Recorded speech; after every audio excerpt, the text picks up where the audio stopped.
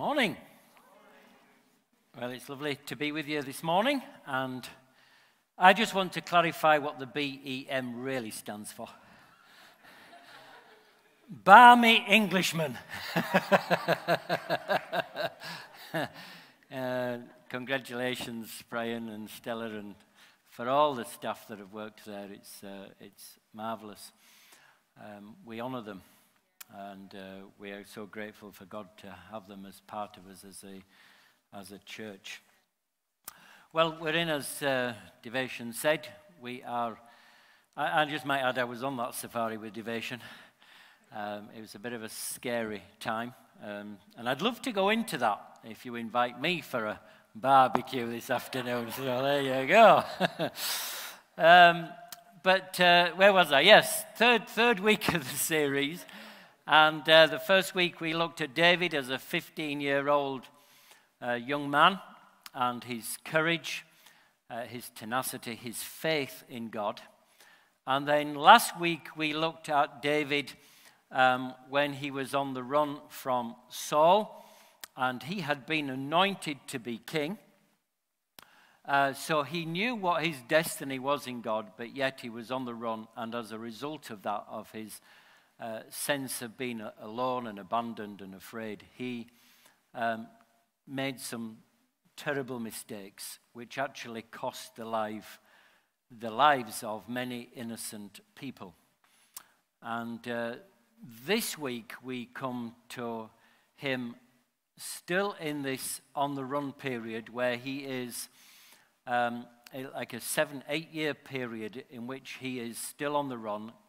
He's um, um, not able to kind of, he's, not at home or welcome in Israel, and uh, he's not welcome in any other country. So he's kind of a nomad, and he's in between where he wants to be, doesn't really, in some ways, belong anywhere. So that's where he is in his thing. But the story we're going to look at today, um, he's about to make another terrible mistake. But he is saved by a woman. And I know you're thinking, but it's not Mother's Day. so this is for Mother's Day, okay? Whenever that appears in the calendar. Um, and so he's on the verge today in our story of making another terrible mistake. What I find happens is, is once you start making bad decisions, it tends to be a downward spiral. You, you end up making one bad decision and then another bad decision, and you end up into a right mess and into a fix, which is of your own doing. It's not because might, you might blame the circumstances and the situation, but David still could make good decisions even though he was um, ousted by the king of Israel at the time. But he was saved by a woman. I wonder how many men are here who have been saved by a woman. Yes, all the guys go, absolutely. Uh, we have been saved many a time uh, because of our wives or people that uh, we would wish were our wives. No, there you go. Um, that's for all the single guys, yes. um, I just want to ask a question. Do we get what we deserve? David is in this scenario that we're going to look at today. But it's a big question to think do we get what we deserve? Should we get what we deserve? I don't know about you, but I don't want to get what I deserve. But I do want other people to get what they deserve. Anybody else with me on that one? We, uh, we're often like that, we, yes? And I don't know about you, but I don't want to live in a world without consequences. But yet I don't want to suffer the consequences of my actions. There's a dilemma there, isn't there? In other words, what I want to happen to me is not what I necessarily want to happen to you, and you're thinking exactly the same, probably about me. And so we have the golden rule. What is the golden rule? do unto others as you would have them do unto you. That's right. That's the golden rule, isn't it? The golden rule is a biblical rule, yes, and, uh, and it's in the Bible. It comes from the Bible. Do unto others as you would have others do unto you. Until, of course, someone mis- mis- mistreats you, and then, of course, we change the rule. yes, and the rule becomes very different when it applies to us. Yes, it becomes what do unto others as they have done unto you. becomes the change, don't we? We come, no, this is what they did to me. They hurt me, so I'm going to hurt them back. Now, if you're in any doubt that there is a universal moral code, this should be one that shows you, that confirms to you that there is a universal moral code. Because wherever you go in the world, universally, everybody believes that other people that have hurt them should get what they deserve. There's, everybody believes that there should be consequences to actions. Yes, about what is happening to them. So we've got to understand that we don't act the same, but we do often react the same. So when we're hurt, when we've been offended, when somebody has done something to us, to retaliate, to try to get even, seems very natural. It feels right. It feels good. It feels that sense of, I need to get even that it's something that we should be, should be doing. Yes? I believe that's so important. to us. So when people mistreat us, we believe that we are in the right to mistreat them back. In other words, it's the Old Testament principle of an eye for an eye. Yes? A tooth for a tooth. A jelly full of welly a welly full of jelly. That's the right way around. Yes, for a welly full of jelly, as it were.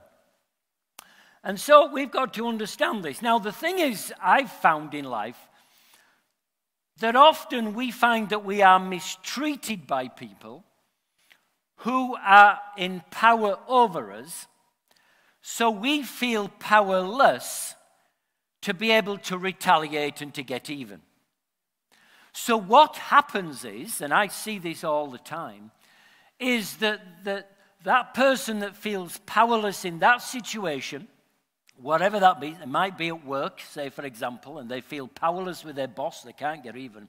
So, what they do is they take it into another environment, another situation, or with another person who they do have power over, and they misuse that power and they want to get even.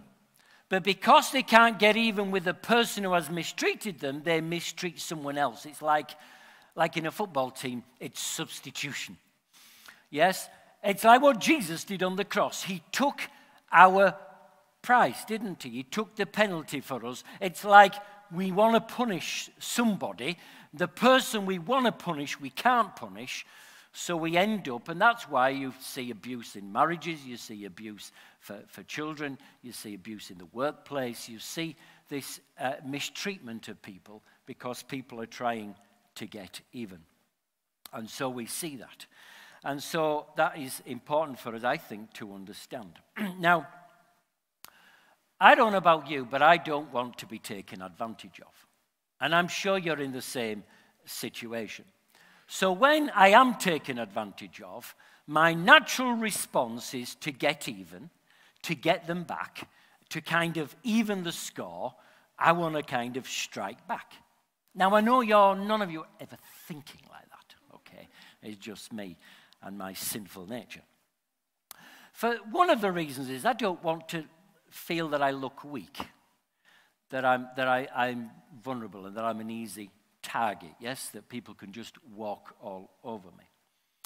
And so I'm sure for all of you, you have a backstory in which you have been mistreated, you have been maybe abused, you have been hurt, you've been offended, you've been abandoned, you've been something or other in your life where someone has, has you know, done something to you or responded to you in a way that you don't deserve. The problem with getting even is that you're trying to get even with someone who you don't even like. Did you get that? You're trying to get even with someone you don't even like. And what that happens is, is you get even, it actually means that you are, where, where, for example, if you think even means to be on the same level. So someone hurts you, you come from being hurt to down to their level of being even. So whenever you try to get even, you stop being and you become. So it's so important for us to realize that because what we feel is, is that when they hurt us, that we're there and we want to get there. But when we are mistreated, the actual fact that we are, we are the one being mistreated, we have got the on the high road and, and uh, we want to get even, brings us down to their level when we mistreat someone else, even if they have mistreated us, it brings us down to their level in life. It actually gives them control over your life. They're like manipulating, they're controlling you. And so, what it does, it sets you back in your life because you're busy trying to get even because of the grudge and uh, the bitterness and the hurt that's in your life. Hurt people hurt people. So, in part three of our study today, we are going back to the life of King David, who about 3,000 years ago, 1,000 years BC, um, this warrior, this giant slayer that we saw in week one, a folk here, now a fugitive, now on the run. And so we see him in this period of his life where he has recovered from a bad mistake. He has sought the Lord again. He's got himself, he's apologized, he's, he's repented of what he's done, and he's about to make another terrible mistake. And that's where we come into this story in 1 Samuel chapter 25. And so I want to read this chapter, or most of this chapter, and just make some points as we go through this chapter. So in verse 2, it says, A certain man in Maon who had property there at Carmel was very wealthy. He had a thousand goats and three thousand sheep, which he was shearing in Carmel. This is an important part, is to understand he is shearing a, in Carmel. He, it is the time of shearing. So put that into a modern context. This was the time when it would be kind of you understand whether you're, you have, uh, if you're a business, you, financially, have you made a profit? This is your time when you balance the books and you see. So, in other words, when he was able to shear the sheep, he was able to see all the bounty of what he had, what he had, had throughout the year. So, the looking after the sheep and paying the herdsman to look after the sheep and feeding the sheep, whatever was involved in it, and keeping things going, this was a season for celebration. This is a season for shearing the sheep. Yes, this is bonus time. Yes, for those of you that work for a company, we, you look forward to bonus time.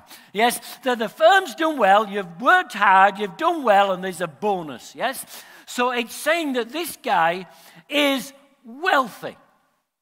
Yes, he is, he's wealthy. In, in, the, in, in the time that he's talking about, he is doing that. He's turned a massive profit. And verse 3 says, His name was Nabal and his wife's name was Abigail. She was an intelligent and beautiful woman, but her husband was surely and mean in his dealings. He was a Calebite. Now, surly means harsh. It literally means heavy. So it means to be abrupt, to be discourteous, to be disagreeable, to, to, to, to not to be someone people dislike. Okay? People don't want to be with him. His name actually meant fool. Nabal means fool. So nobody liked him. Verse 4 While David was in the wilderness, he heard that Nabal was shearing his sheep. He'd come into the good money. It was celebration time, bonus time. So he sent 10 young men and said to them, Go up to Nabal at Carmel and greet him in my name. So they knew who was sending them. Yes? Everybody in Israel knew who David was. Yes? He's not, he's not some obscure guy like me. This is a guy that's a national hero, okay? Although he's on the run. And he says to them, said, Say to him, Long life to you, good health to you and your household, and good health to all that is yours. Now I hear that it is sheep shearing time. When your shepherds were with us, we did not mistreat them. And the whole time they were at Carmel, nothing of theirs was missing. In other words, we were a hedge of protection around them. We protected what was yours. We could have, because I'm a fugitive and I'm on the run, I could have well easily taken advantage of that. I have uh, many, many fighting warriors with me. At any point, I could have taken what sheep or cattle that I wanted, but he didn't. Yes? So he's saying, I looked after you, I blessed you, protected your guys. I you know, surely you can just offer something in response just to kind of uh, as a little thank you at this time. Yes? So you can get this, this, this, this seriousness. And so he said, Ask your servants, and they will tell you. Therefore, be favorable towards my men, since we come at a festive time. Please give your servants and your son David wherever you can find for them. Yes? In other words, since we've been good to you, be good to me. Yes? Because we've kind of been generous towards you and blessed you, bless us and that. Yes?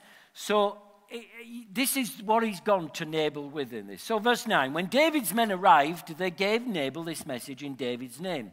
Then they waited for the response. And Nabal answered David's servants, Who is this David? Knowing full well he knows who this David is. yes. Who is this son of Jesse? Many servants are breaking away from their masters these days. You see, he knew David was a, a fugitive. He knew he was an outlaw. He knew he, was classed as a rogue in the land. Yes, I didn't ask for his help. He, he might have given it, but I didn't ask for it. And so his, his attitude was, I don't owe him. And he says in verse 11, Why should I take my bread and water and the meat I have slaughtered for my shearers and give it to men coming from who knows where? David's men turned around and went back. When they arrived, they reported every word. David said to the men, Each of you strap on your sword. So they did, and David strapped on his sword as well. I want to say to you, first of all, that self control is a muscle. And just like any muscle, it can be worn out. Yes? Uh, it, can be, it can be broken, as it were. It can be stretched beyond where it, it, it, its capacity. So, for example, a few weeks ago, I was lifting the couch. But instead of lifting the couch uh, like in, in, in an upward motion, I was laid down trying to get this carpet out from underneath it, and I lifted that, and I could hear the muscles tear. It didn't really hurt so much, it was more just I could hear it. And so it was actually a day or two later before it started to hurt. And so it still hurts now, and certain moves actually are painful. So, just like a muscle, so our patience can wear out. So uh, our, our self control can wear out. And David's self control had worn out. It was, he was at the end of his tether, as it were. He'd had enough. He was frustrated. He had, he had been good to this guy, and, uh, and he was now, he felt being mistreated and misunderstood. And so it's important to understand that at this, this is where uh, David was on this.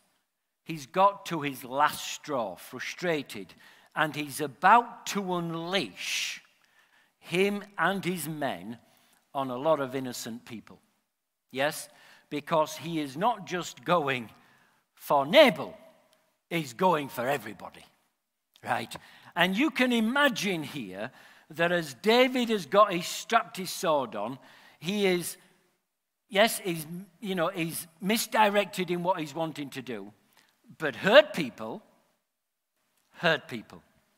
Hunted people, hunt people. And so this was what David was. And so it says about 400 men went up with David while 200 stayed with the supplies. I would have been one of the guys staying with the supplies, okay? yes, just letting you know there, yeah? Verse 14 One of the servants told Abigail, um, Nabal's wife, David sent messengers from the wilderness to give our master his greetings, but he hurled insults at them. Yet these men were very good to us. They did not mistreat us, and the whole time we were out in the fields near them, nothing was missing. Night and day, they were a wall around us. Uh, the whole time we were herding our sheep near them. Now think it over and see what you can do, because disaster is hanging over our master and his whole household. He is such a wicked man that no one can talk to him. Abigail acted quickly. There's something about acting quickly, doing the right thing quickly. Because had she hesitated, had she said, Well, I'll think about it, it would have been a very different story. And sometimes we've got to understand God expects us to act quickly. What does God want us to act? Quickly, absolutely. She took, now this is an amazing thing, I think. There's only a woman could do this. Yes? She took 200 loaves of bread, two skins of wine, five dressed sheep, five measures of roasted grain, a hundred cakes of raisin, and 200 cakes of fresh uh, uh, pressed figs, and loaded them on donkeys. This must have been Claire. Yes. She would be the only one, I think, that could, could pull, this, pull this together, yes? Someone like that that's just really kind of, she, how she does it, I have no idea. Then she told her servants, just listen to this woman and the, the, the wisdom, the astuteness of Abigail. Yes? She's in the AA. Astute Abigail. Okay. She, she, she's done this. Says, then she told her servants, Go on ahead, I'll follow you. But she did not tell her husband Nabal. There was some wisdom in that. Yes? Because if she'd have told him, he'd have probably reacted in a nasty way and stopped her going. So she went ahead. As she came riding her donkey into a mountain ravine, there were David and his men descending towards her, and she met them. You've got to imagine there that David is coming with his 600 men, or maybe 400 out of the 600, yes, all armed to the teeth. And they are frustrated, they are angry, and they want vengeance. They want to, to, to get their own back. They want to get even. Yes? Because of this. So you've got to understand that. Now, Abigail is coming to meet David on her little donkey. Yes? And she's kind of coming. Can you imagine that scenario? It's like a Wild West um, uh, thing, isn't it? You know, if you've ever you've looked at the Wild West and they're coming charging through the ravine, and there's this lowly woman on her own, and she comes and meets the men. And how does she respond to this man who is coming to butcher her, her husband, and her whole household? Because that's what his aim is. And she understands what his aim is. She is not deaf, daft about that. So this is what he says David had just said, verse 21 It's been useless. All my watching over this fellow's property in the wilderness so that nothing of his was missing. He has paid me back evil for what is he paid back? Evil, evil for good. And then verse 22 May God deal, keep that in your mind, evil for good. That's, that's what uh, Nabal has done to David, yes? Verse 22 May God deal with David, be it ever so severely, if by morning I leave alive one male of all who belong to him. When Abigail saw David, she quickly got off her donkey and bowed down before David with her face to the ground. Wow. Here's a wealthy woman. Yes, this is strange. This is not what you would expect from a wealthy woman to get off her donkey and to bow before David. And you, you've got to think, she, the courage of this woman. you know, the natural thing would be to flee for her life. But she doesn't. She faces David, who's an outlaw, he's kind of fugitive, he's, he's, he's after vengeance. And she bows down before him. I want to say to you, I think that caught him off his guard. I think that surprised David. I think he wasn't expecting this. He wasn't looking for this. He is, he is, he is, I think, as he's journeying along and he's going on his donkey, I think his mind's making more and more reasons why he needs to get even. Yeah? The, the longer it goes on, the longer the journey, the nearer he gets, the more the emotional tension and frustration and anger in him is building up. And, uh, and so she, she does this, but what we find is that she treats David as if he's already the man she hopes he will become. She doesn't treat him as he is responding, as he is angry, as he is, he is. But she treats him as the man she knows he can become and he should become and he's anointed to become. Because Abigail, as all in Israel would have known, he was anointed to be king. So, Dave, you can imagine David's frustration because he's, a, he's an outlaw and he's not getting treated well by, by Nabal, who he's looked after. But his rightful place was in the palace. His rightful place was as a son, and, son in law of the king. That's where he should have been at home in his comforts, but he's not. So you can imagine all this kind of thing working in him. So I just want you to know, and particularly you ladies, to take note that when Abigail talks to David, the way she talks to David works for all, our, all the guys. Because when you butter us up and you say, you know, Kath says, I bet you could take that rubbish bin out with one arm. And I go, I ah, bet I can. No, I know I can, but I've got to, I've got to show her. Stop. So I'm just saying, ladies, that's the way our guys are built. So you treat us as we, you want us to be, and you speak into our future as Abigail spoke into David's future, I want to say to you, you'll have men of the future who will be as you want them to be. There won't be men who are trying to get even. There won't be uh, men who will be doing bad and evil for good. They will be men who will be different again and they will take the high road and do good for evil. And so this is what she says to him. She says to him, she, she's speaking to David's potential, uh, looking past what he's about to do. Yeah? Because she knows the stupidity of what he's about to do. And that he can never return from what he's about to do. It would always be in his story, it would always be part of who he was at that time. He could not reverse that decision if he went ahead with it. And so she said, verse 24, she fell at his feet and says, Pardon your servant, my Lord. Hear what your servant has to say.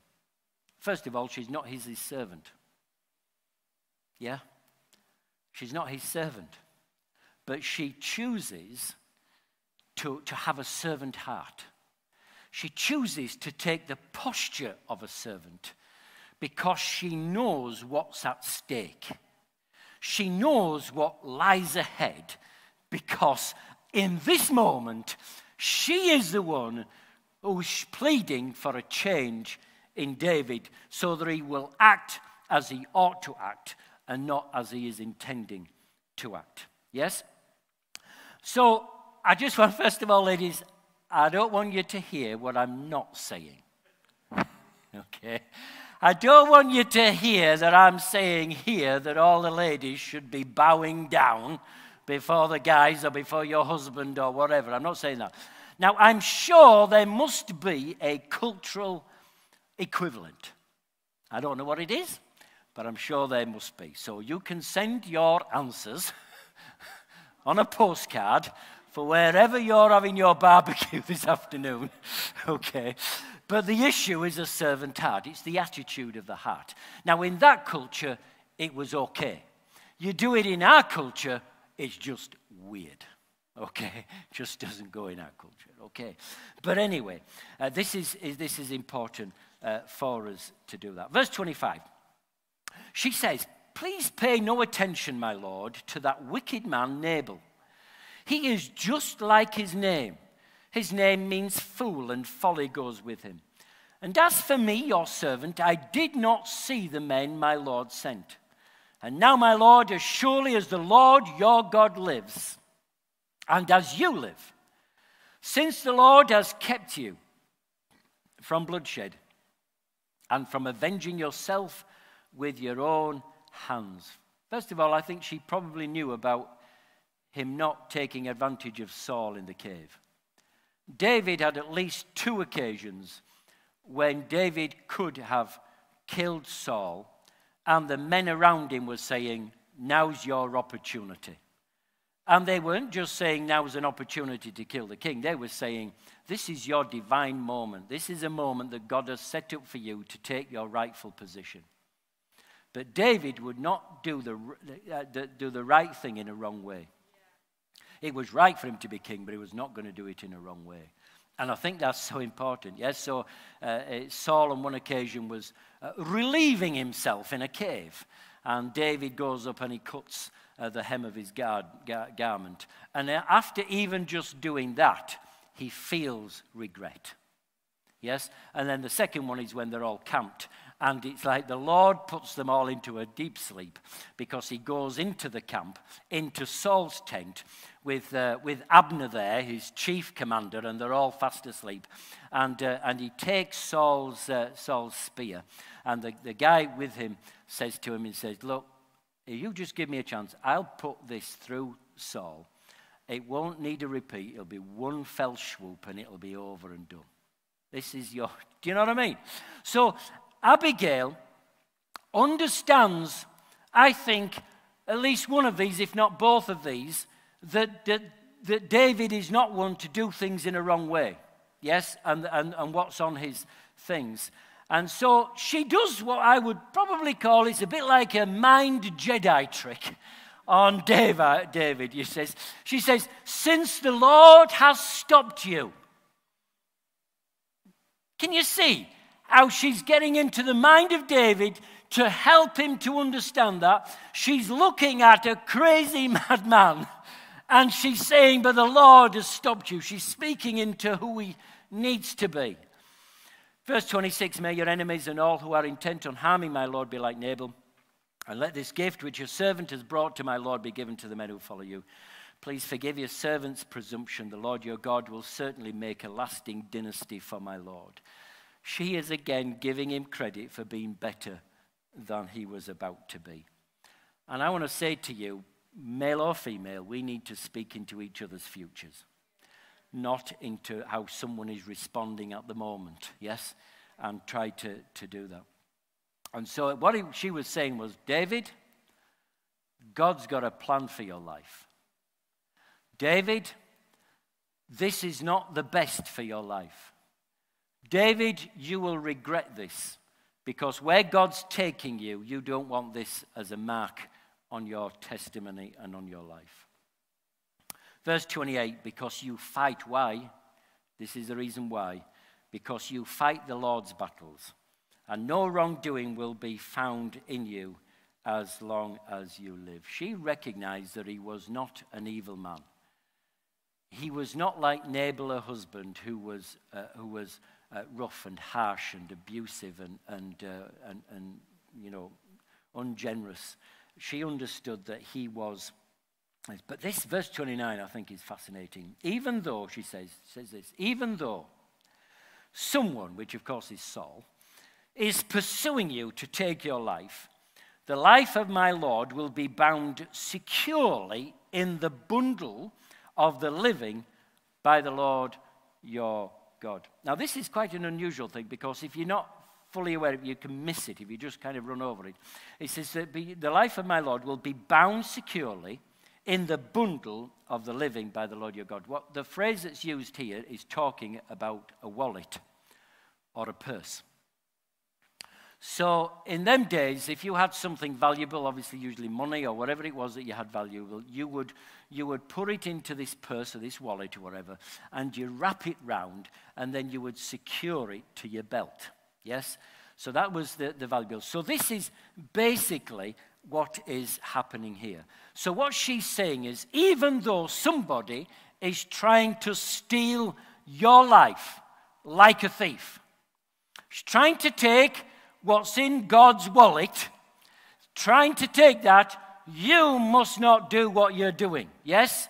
Even though you're gonna, you've got to understand that even though it seems like this is going to happen, you've got to understand, David, that your life is wrapped up in God's wallet, in God's purse, and no one can touch you because you're strapped to God's belt.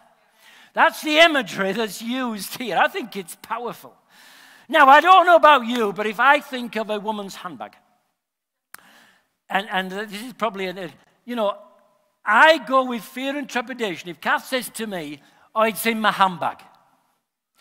Because I can search, and I can search, and I can never, it's like going in to uh, Mary Poppins' handbag. It just kind of, or it's like going into a black hole, isn't it? you know what I mean? In other words, whatever's in there is pretty safe. it's not coming out, is it? You know, not if you want it anyway, you're not going to find it. Um, so I believe that this is, what he's, this is what she's saying to David. And I want to say this is what God is saying to every one of us today. He's saying, You are in my wallet. You're in my purse, you're in my handbag, and it's strapped to me. There's nobody getting to you because your, your life is bound up in God. And I think that's a powerful imagery. I think it's absolutely fantastic. And then she says this, verse 29 But the lives of your enemies he will hurl away as from the pocket of a sling. What is she referring to here? She's reminding him of the guy that he was when he was 15 years old, when he became the national hero. He became when he, we killed Goliath. And not only that, he has got Goliath's sword strapped to him. If ever there's an imagery there, and she's using this with wisdom and saying, But David, God is protecting you and he will have you. He will, he will hurl your enemies away as in a sling. He know, God knows how to fire a sling. And he can be got stones in the sling that will make sure your enemies fall. And you should know this, David, because at 15 years of age, you trusted God with your sling to defeat a giant. Isn't that amazing? I think so, anyway. So she's speaking into David's future. And she asks, without asking, What story, David, do you want to tell? How do you want, when you are king, to be remembered? Do you want the slaughter of more innocent people on your head? Referring to ourselves, we would think God is saying to us, Do you want more of some of the things that you've already done and the, the, the, consequences, do you want more of those consequences and life stories that really you don't want your children to know? You don't want other people to know. You don't want to be remembered for. So the question she's asking is what story do you want to tell about this moment, David? Because this moment in time is a crucial, pivotal moment in time for you. And so she goes on, verse 30 When the Lord had fulfilled for my Lord every good thing he promised concerning him, and has appointed him ruler over Israel, my Lord will not have on his conscience the staggering burden of needless bloodshed or of having avenged himself. And when the Lord your God has brought my Lord success, remember your servant. And so David comes to his senses. The emotional temperature drops because of Abigail. And he says this to Abigail Praise be to the Lord, the God of Israel, who has sent you today to meet me. May you be blessed for your good judgment and for keeping me from bloodshed this day and from avenging myself with my own hands. Otherwise, as surely as the Lord, the God of Israel, lives, who has kept me from harming you, if you had not come quickly to meet me, not one male belonging to Nabal would have been left alive by daybreak. Then David accepted from her hand what she had brought him and said, Go home in peace. I have heard your words and granted your request. Now, Abigail's very smart with what she does. Again, we see this right through. When Abigail went to Nabal, he was in the house holding a banquet. It was celebration time, it was kind of big bonus time. And uh, like that of a king, he was in high spirits and very drunk. So she told him nothing at all until daybreak. There are times to not say things. yeah. Choose your time. Yes. Then in the morning, which is a lot to be said about not tackling some things late at night, yes. Then in the morning, when Nabal was sober, his wife told him all these things, and his heart failed him, and he became like a stone. About ten days later, the Lord struck Nabal, and he died. When David heard that Nabal was dead, he said, Praise be to the Lord who has upheld my cause against Nabal for treating me with contempt. He has kept his servant from doing wrong and has brought Nabal's wrongdoing down on his own head. Then David sent word to Abigail, asking her to become his wife. His servants went to Carmel and said to Abigail, David has sent us to you to become, uh, to take you to become his wife. She bowed down with her face to the ground and said, I am your servant, and I am ready to serve you and wash the feet of my Lord's servants. Abigail quickly got on a donkey and, attended by her five female servants, went with David's messengers and became his wife. And they lived happily ever after. Well, probably not. She was wife number two, although in some ways she was wife number three. And David did go back for wife, the first wife, so he ended up with three. So wherever there's more than one wife, there's going to be strife. so let's summarize quickly, if you can manage to stay with me a little bit longer. We have three characters with three responses, but one hero. Nabal's as he, was evil for good. David was evil for evil, and Abigail's was good for evil. She had a unique perspective. She looked through a different lens to everybody else. You see, Nabal, with his evil for good, nobody wanted to be like him. And David, the evil for evil, that's predictable. That's what we do. But Abigail, the good for evil, now that's remarkable. My question is do you want to be predictable or do you want to be remarkable? You see, Abigail was ahead of her time. In the Old Testament, it was an eye for an eye. So David was, it's an eye for an eye. He's offended me, I'm going to offend him back. But in the New Testament, in the new covenant, it's different. Jesus turned all this upside down. So we see Abigail operating on a New Testament perspective.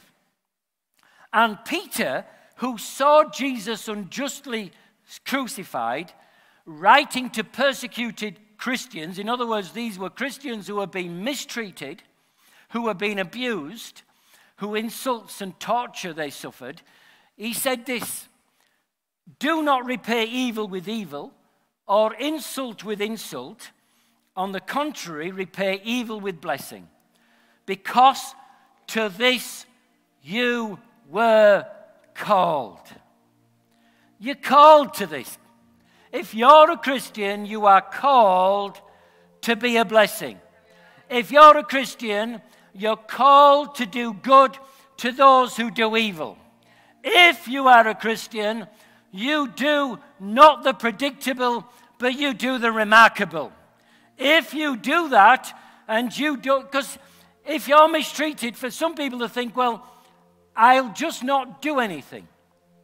And they stay neutral. They think, well, I'm not retaliating about it. I'm not doing evil for evil. I'm just not doing anything. Well, I want to say to you that's good, but that's not God's best.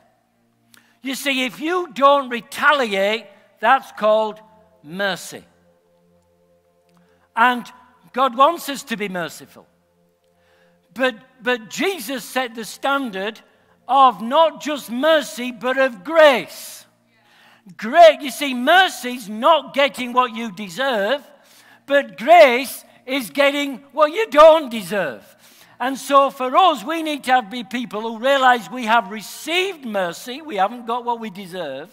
but we have received grace from the Father. We get what we don't deserve, and therefore we need to respond to other people and to give what they don't deserve.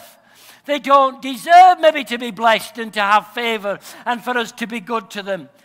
But we are remarkable people. We are people who are not predictable but remarkable. And so I believe that we need to be like Peter. We need to be like Jesus. We need to be like Abigail. And so instead of evil for evil or just doing nothing, we need to be people who will do good to those who do evil, to those who mistreat us, to those who abuse us, to those who take advantage of us. Matthew 5 and verse 43 says this You have heard that it was said. Jesus is talking to the Jews of the day, the people who understood they were living in the Old Testament covenant, the eye for an eye. And he said there, You have heard that it was said, Love your neighbor and hate your enemy. That was the Old Testament principle.